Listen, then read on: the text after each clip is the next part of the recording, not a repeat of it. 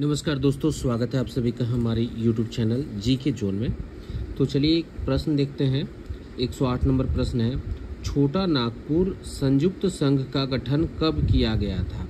छोटा नागपुर संयुक्त संघ का गठन किस वर्ष किया गया था? तो इसका आंसर हो जाएगा 1954 में, उन्नीस सौ चौवन में छोटा नागपुर संयुक्त संघ का गठन किया गया था। ठीक है? और दूसरा प्रश्न इसी से जुड़ा हुआ देख लेते हैं। छोटा नागपुर संयुक्त संघ के प्रथम अध्यक्ष कौन थे?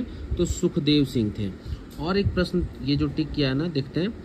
जयपाल सिंह मुंडा ने कांग्रेस पार्टी से किस वर्ष इस्तीफा दिया था? जयपाल सिंह मुंडा ने कांग्रेस पार्टी से 1969 को इस्तीफा दे दिया था। तो ये दो प्रश्न, तीन प्रश्न हो गया। एक और इम्पोर्टेंट प्रश्न देखते हैं।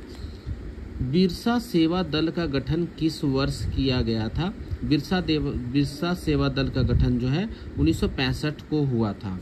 दूसरा प्रश्न इसी से जुड़ा हुआ है।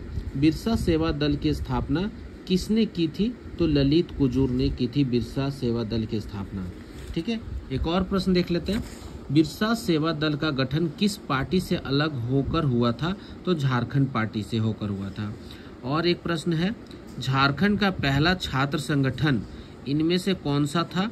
तो झारखंड का पहला छात्र संगठन जो है, वो बिरसा सेवा दल था, जिसकी स्थापना 1965 में हुई थी। ठीक है तो ये इस तरह से हमने टोटल आज प्रश्न किया। एक, दो, तीन, चार, पाँच छ सात प्रश्न हमने किया है आज के सेशन में, ठीक है? और ये जो पूरा सेशन है आज, झारखंड आंदोलन से संबंधित चैप्टर से मैंने आपको बताया है।